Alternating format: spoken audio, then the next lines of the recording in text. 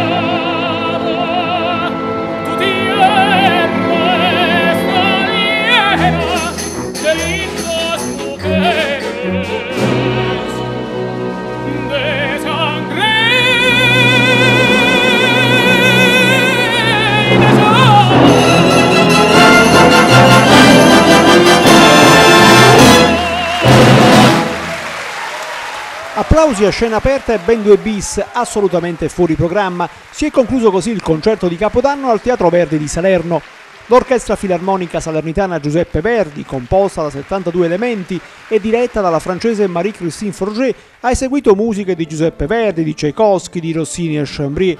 I protagonisti del concerto sono stati il tenore Francesco Malapena e Nello Salza, la tromba più famosa del cinema italiano.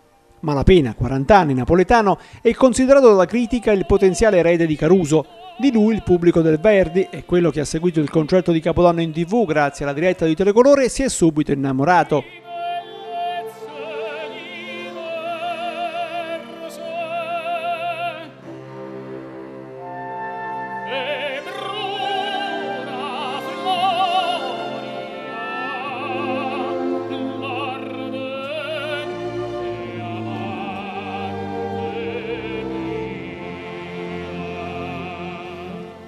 Nello Salza ha inciso oltre 300 colonne sonore come prima tromba solista con maestri del calibro di Morricone, Piovani, Trovaioli, Ortolani, Piccioni, Bacalov e Cipriani.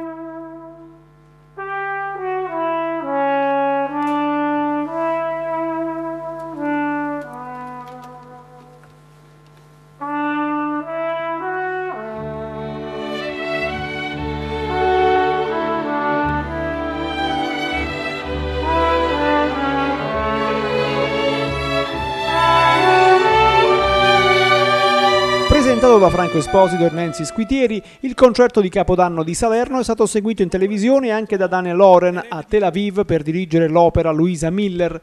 In avvio è stato osservato un minuto di raccoglimento per ricordare Rita Levi Montalcini.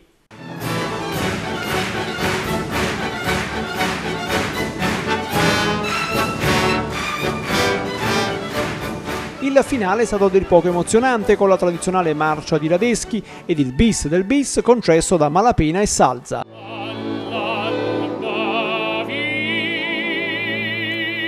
vincerò